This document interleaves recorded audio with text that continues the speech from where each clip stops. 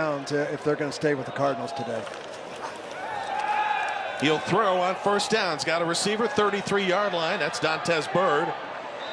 And a wide receiver position. And you looked at Anthony Winbush, who represents the other half of our impact players. Anchors up the Ball State defense, but right now it's the Tennessee Tech off its own 20 for Tennessee Tech.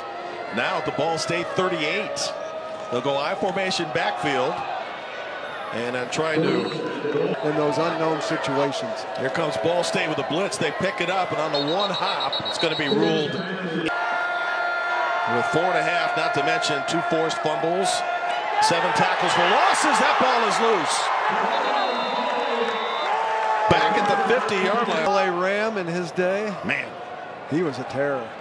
Sale on first down to Dontez Byrd. You want to get him if you're the Golden Eagles. As many touches, fp-foundation.org to learn more. Sale with a fake and the throw out of the backfield. Ball State's defense gashed for over 300 last week by an OVC team and Austin Peay To Dontez Byrd, makes one man miss. And if he makes one man miss, he's going to get into your sector. He says he wants to major in, uh, or be a real estate agent when his career is, is done. Got some real estate on that last play. Cardinals don't pick up the short offense and only 11 on the ground where they have really suffered this year. Andre Sale over center, shows the ball to his running back, tosses it the outside. This play's been effective so far, and this will be equally as effective as well. Now it's second and six. Sale again from the shotgun. Back to Thainrad, straight ahead, headed toward the Goldsmith has the first down and a couple yards to go with it. Middle State's always been a terror in the FCS playoffs in November and December. Sale releases underneath. Riley Neal off the playing field. 10th play of the drive.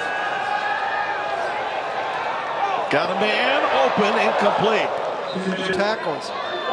They have 119 yards rushing for the game. And in the second half, have possessed the football more than 10 minutes. But now they're in a situation. Andre Sale, incomplete. Ball red zone, and they have to think six. Sale on first down, looking toward the end zone's got a man.